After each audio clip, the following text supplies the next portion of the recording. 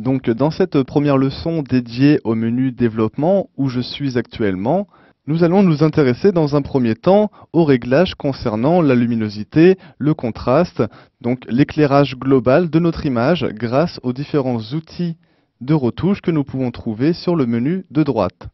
Donc actuellement je suis sur une image, je vais pouvoir également changer d'image car j'ai toujours accès à ma galerie en bas de l'interface. Donc je vais choisir plutôt cette image-là.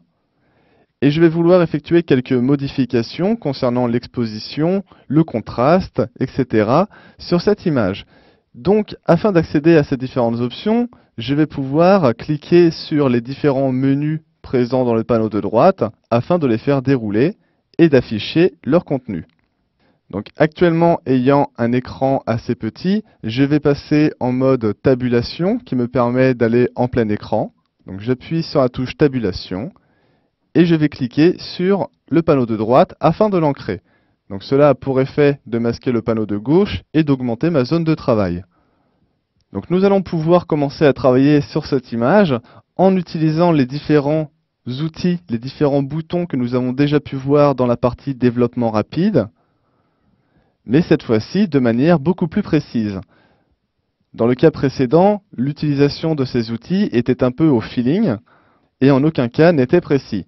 À présent, si je souhaite modifier mon exposition de manière plus précise, par exemple en bougeant l'exposition vers la droite, je peux apercevoir le taux d'exposition qui est affiché juste à côté. Donc ici, j'ai un taux d'exposition de 1,47.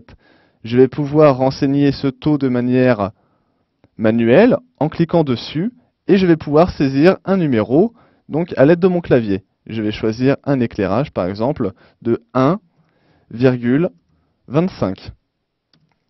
J'appuie sur Entrée pour valider et à présent donc mon exposition est d'une valeur de 1,25. J'ai également la possibilité, lorsque je passe la souris sur ce numéro, je vois une double flèche apparaître. Je garde le doigt appuyé sur ma souris et je peux me déplacer vers la gauche pour réduire ou vers la droite pour augmenter l'exposition. Je vais augmenter l'exposition un peu comme cela, aux alentours de 1,80. Et je vais pouvoir à présent jouer sur les autres outils, les autres options proposées comme la récupération, donc soit en utilisant l'outil et en agissant directement sur ce dernier, soit en passant comme précédemment sur la partie de droite pour être plus précis. Je peux jouer également sur la lumière d'appoint ou sur l'outil noir qui va me permettre de foncer encore plus les zones déjà sombres de mon image. Donc je vais augmenter la valeur voilà, aux alentours de 8.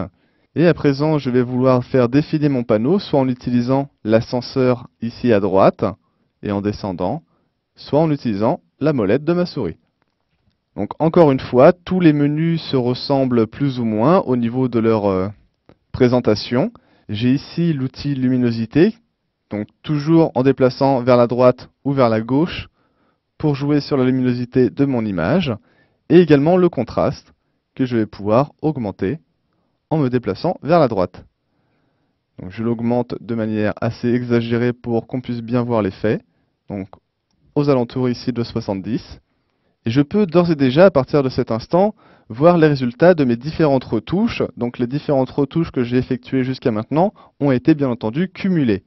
Je vais pouvoir comparer à présent l'état de mon image maintenant et comme elle était auparavant. J'ai pour cela la possibilité de cliquer sur l'outil dans le menu en dessous qui me permet d'activer le mode avant et après.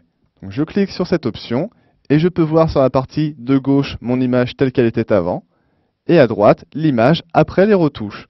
Donc je constate bien les différentes euh, modifications au niveau à la fois du contraste, de l'exposition et de la luminosité qui ont été appliquées. Donc cet outil avant-après me propose différents modes de rendu. Si je reclique encore une fois sur le même outil, je peux voir ma photo qui est coupée en deux et je peux voir de manière plus nette la différence avant et après.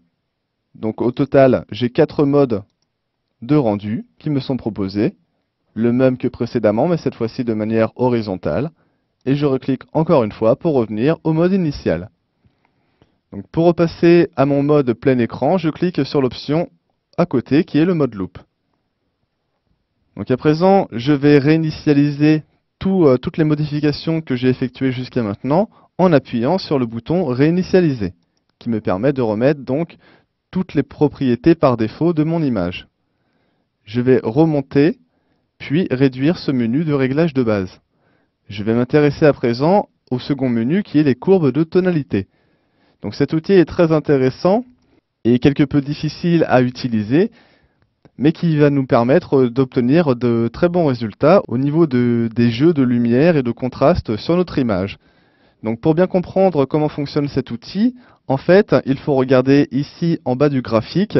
Nous avons tout d'abord sur la partie de gauche les teintes foncées qui vont jusqu'aux teintes claires vers la droite.